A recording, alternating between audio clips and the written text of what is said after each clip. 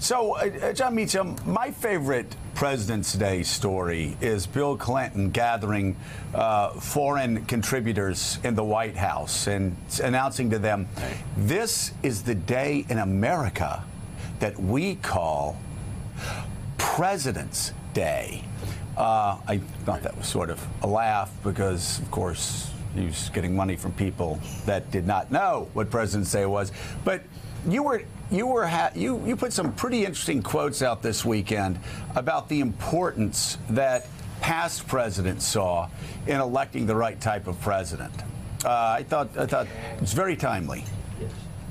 Yeah, John Adams said, and this is uh, obviously in the very beginning, that it, it's absolutely crucial uh, who the people send to the presidency.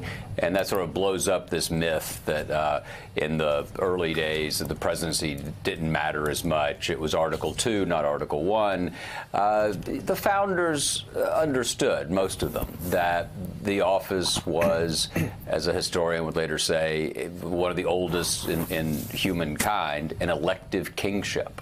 And that's what this is. Uh, the president has incredible force uh, over not only a country's politics, but its culture.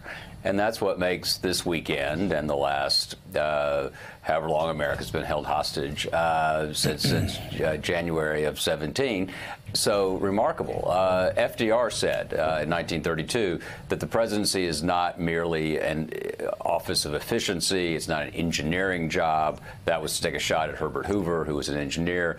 Right. It is preeminently a place of moral leadership. And what he or ultimately she does matters. And what's happened here is pretty clearly in the last uh, 14 months, 13 months, we have a president who is coarsening a culture that's in desperate need of being told that hope should matter more than fear. Right. And, and George Washington also said that our republic only worked and that office only worked if if the occupants were virtuous people. Uh, and of course, uh, we're having some some challenges. You were over in Munich uh, this this weekend, David. Um, obviously, our national security advisor uh, made news by telling the truth, by saying what everybody else in Washington was saying, and everybody else in the Trump administration had been saying. But but um, talk about the unease that that you picked up in in Munich. Munich is a, a, symbol, the annual Munich Security Conference, uh, of the continuity in U.S. alliances and policies. Uh, Mika's dad would go there year after year and speak with others. Senator McCain has been a regular. And, and the uh, point of this conference every year is to, is to reassert the things that really make a difference uh, in keeping America a steady uh, a leader in its, in, its, in its alliances and partnerships. I actually thought that continued. It continued despite this president. Mm -hmm. You had H.R. McMaster speaking as national security advisor in, as President Trump said, direct contradiction to what the president was saying back in the White House.